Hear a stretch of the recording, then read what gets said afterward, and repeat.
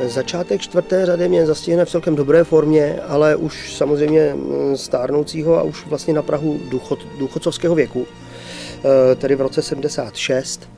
Takže už, už to není ten, ten Tonda Maděras, ten prostě podplukovník, plný sil a plný života. No. Už prostě prožívá nějaký, jaký, jakýsi uh, přerod a samozřejmě nějaký posun a hlavně ten věk tam taky zahraje svou roli.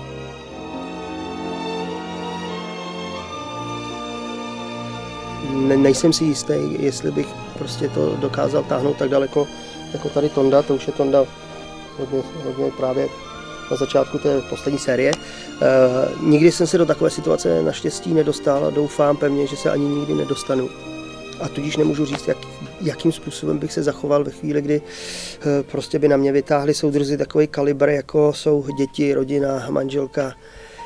Myslím, že nikdo nemůže tušit, jak by se zachoval. Třeba stejně, stejně hrdinsky tady jako Tonda, stejně charakterně, byť tím vlastně nesmírně těm lidem ublížíte na jednu stranu.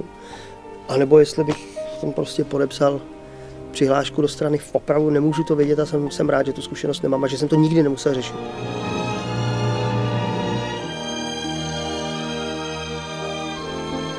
chápu a rozumím, že mladí lidé eh, koketují s levicovými myšlenkami, líbí se jim, jsou jim sympatické a je to v pořádku, to historicky dáno a není to jenom prostě eh, na východě, ale je to i na západě. Já jediný, co bych jim doporučil a poradil, aby se podívali na zdivočilou zemi a pak eh, si ty myšlenky uspořádali.